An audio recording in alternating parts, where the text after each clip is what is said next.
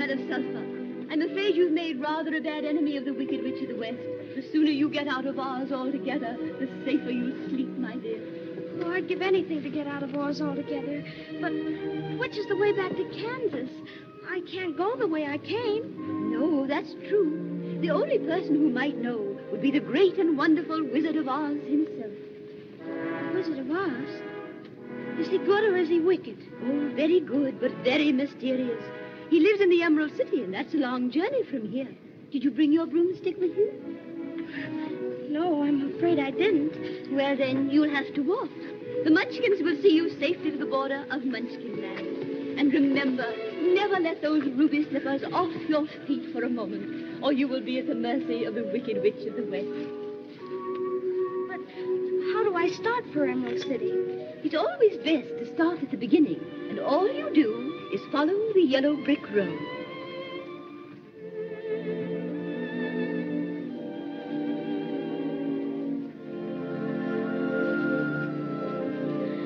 But what happens if I... Just follow the yellow brick road.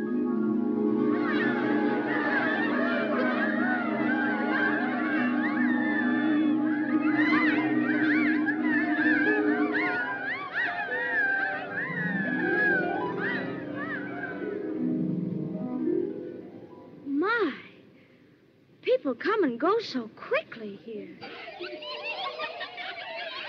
Follow the yellow brick road. Follow the yellow brick road.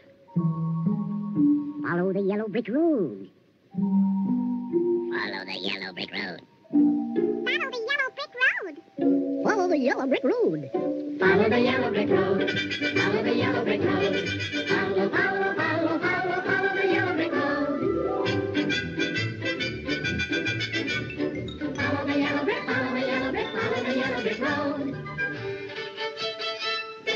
You're off to see the wizard, the wonderful wizard of Oz. You'll find he is a wizard, whiz, if ever a there was.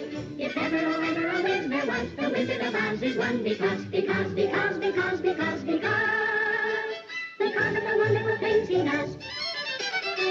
You're off to see the wizard, the wonderful wizard of Oz.